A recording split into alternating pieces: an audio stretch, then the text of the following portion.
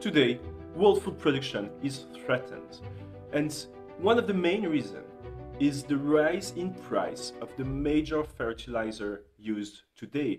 The current war in Ukraine, as well as the sanctions against Russia, are making the situation even worse because one of the major ingredients for those fertilizers is natural gas.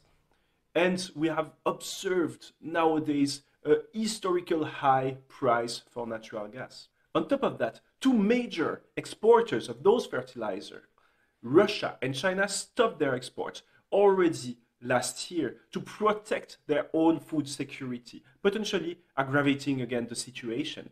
While in Switzerland, the government released 20% of the emergency reserve of nitrogen fertilizer last winter in December. This situation highlights the vulnerability of this market and that we have to look for solutions. Although nitrogen fertilizers feed billions on a daily basis, their use is also associated with a lot of harmful effect, either on human health or on the environment. And the specific situation is an opportunity to find ways to preserve food security while at the same time reduce all this adverse effect of nitrogen fertilizer use. So this is really our chance to build back better.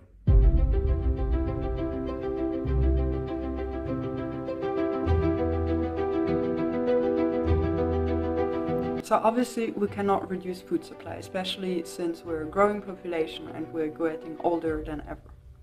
So what can we do? Not all nitrogen ends up on our plate. So what we can do is improve nitrogen use efficiency.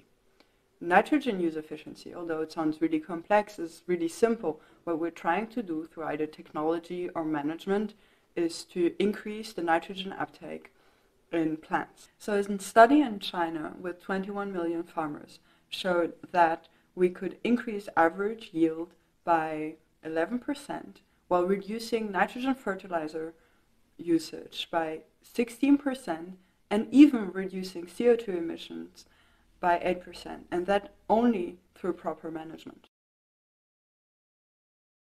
But more concretely, what can you do? You can support the transition by reducing your food waste. Did you know that in terms of avoidable food waste, most nitrogen is lost by throwing away your cereals?